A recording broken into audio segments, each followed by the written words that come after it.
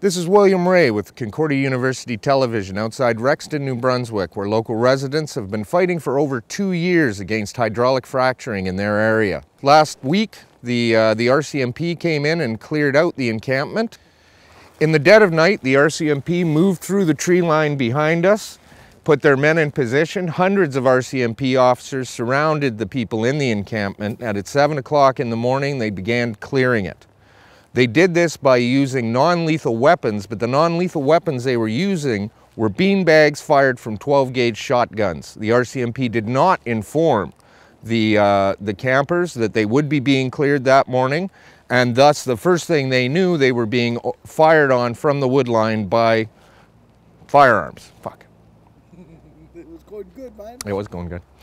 Uh, Some of the things that we found here are, besides military ration packs, are uniform bags that were left in the field, which makes us wonder why the RCMP wouldn't come to work already dressed, and, and brings to question whether all the, uh, the men that were here were indeed members of the RCMP.